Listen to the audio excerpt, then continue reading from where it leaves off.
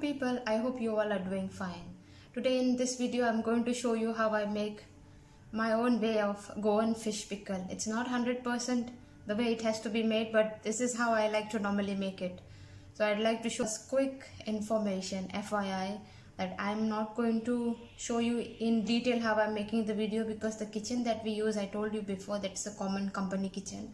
There is an exhaust so it makes a lot of noise and I cannot describe or I cannot explain in detail but I'm definitely going to put subtitles when I'm going to make the, the process of making the pickle.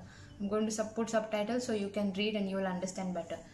So first I'm going to start with the ingredients. I'll show you. This is a very quick and simple. So I'm going to use the most simple basic ingredients. Nothing complicated. So anybody can make this pickle.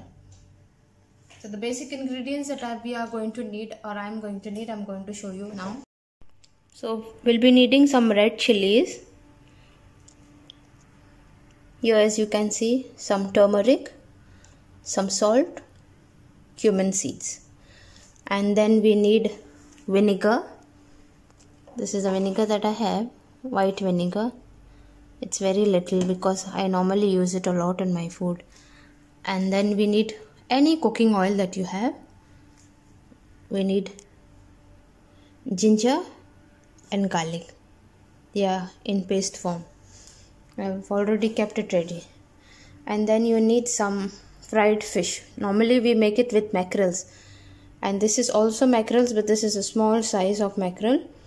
And I have already fried it and kept it beforehand because I wanted to make this video as quick as possible because I don't want to stretch we all know how to fry uh, fry fish. So i said let me not stretch it too much.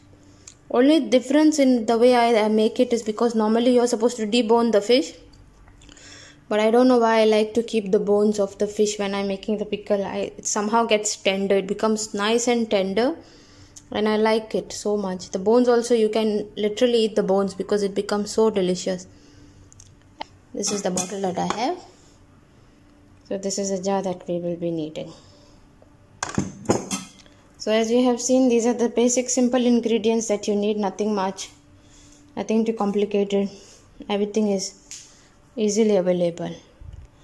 So now I'm going to go down to the kitchen and please stay tuned. So now the first thing that I'm going to do is I'm going to remove all the seeds of the chilies because when I'm going to blend it I want to turn it into a smooth paste so now I have already finished. I have removed the seeds and I'm okay to go. Now I'm going to blend the chilies together in little hot water. So it becomes into a nice paste. Here if you can see it's turned into a beautiful paste that I was looking. Now I'll add the cumin seeds. And then I'm going to blend it all together. I'm going to add all the ingredients one by one. Cumin seeds added. Now I'm going to be adding the garlic paste and the ginger paste. I know it's a paste but i want to blend it all together because the taste and the paste will get mixed very well then the marination becomes more delicious. It will taste nice. I want it to become all the ingredients have to become one one body. Now i'm going to add the turmeric and i'm going to blend it also along with that. And then i'm going to add our salt you can measure all the ingredients according to your own proportions. I'm not very good at measuring because i normally i do my own guesswork and i'm very good at it. Obviously because of the experience. So i'm sure you will know how to do it. If not then let me know. I will definitely measure and i will give you all the perfect ingredient count if you want. So now if you see the paste is all blended all together and this is what i wanted now i'm going to add some oil in the pan heat the oil very well not very high flame just a medium low flame. And then I'm going to put all the grounded paste together and then I want to fry everything together in the oil. The longer you fry the more better the uh, marination or the paste will turn out to be. And that's what you want to achieve. You want to achieve a nice beautiful red color paste or marination so then in the end we are going to put our fish into this paste.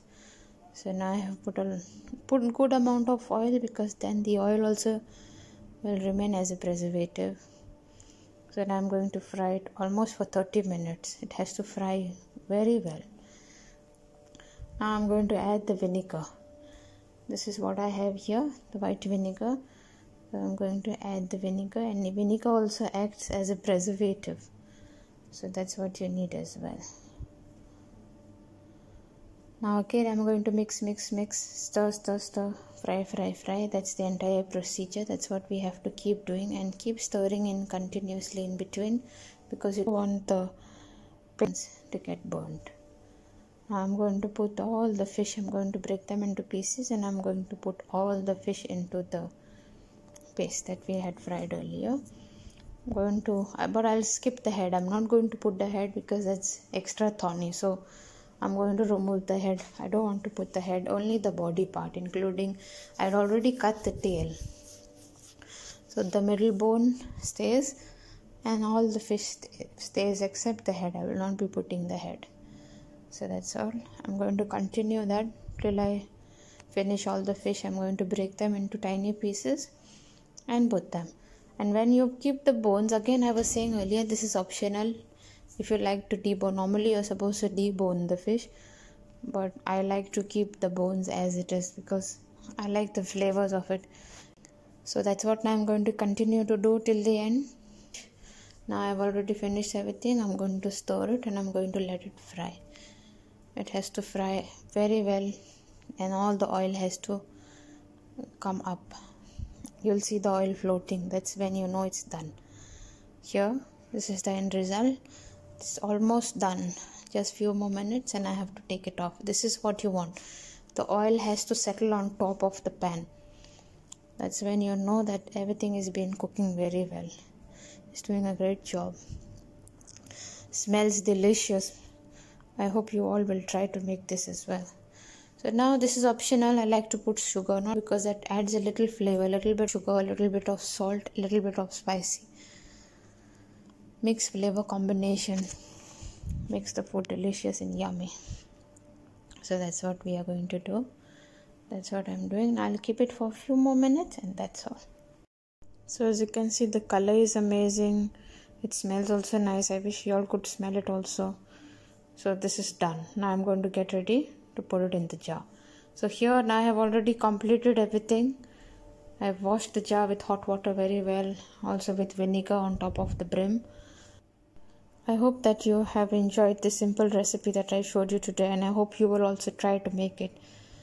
This pickle will last me for maximum 2 months i hope so. Thank you for watching. Stay tuned for more videos and continue spreading the love. Thank you